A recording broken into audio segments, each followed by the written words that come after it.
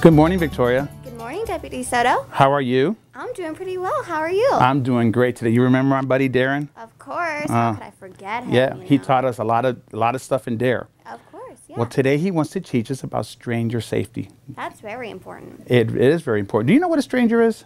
Someone that you don't really recognize and kind of different to you. Exactly. So Daren's got five points that he wants to teach us about um, stranger safety.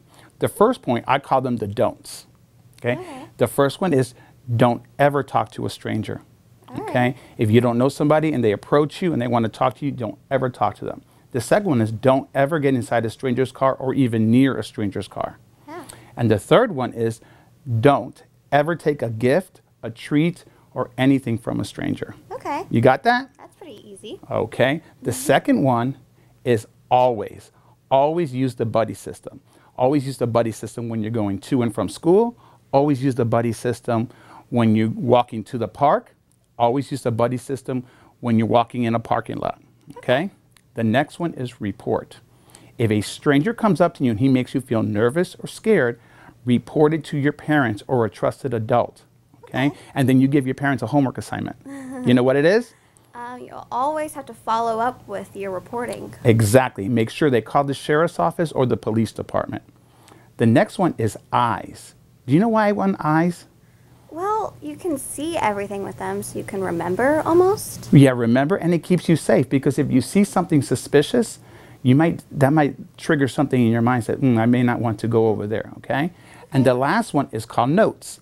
If it's safe and you can do so, write down on a piece of paper what the stranger looked like, what kind of car he was in, where it took place. Okay, then this way, when you report it to the police, you won't forget it. Okay. Aren't those five neat little points? Yeah. Let's review them, okay? All right. First of all, it's the don'ts. We don't ever talk to a stranger. We never get into a stranger's car, and we never take a gift from a stranger. Okay. The second one is you remember- Always. always, use the buddy system when you're walking to and from school, walking around your neighborhood, or walking in a parking lot. The third one is oh, I gotta, I gotta use this. Um, you see, um, I have a cheat sheet here, so it's the- don'ts. Always report, Report. the eyes. Okay, let's use our eyes to keep us safe.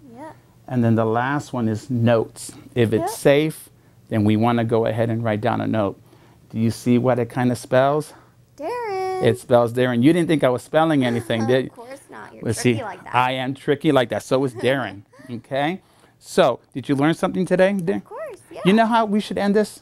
how? I think we should take a selfie with Daren because Daren loves to take selfies. Okay. All right. Let's take a selfie.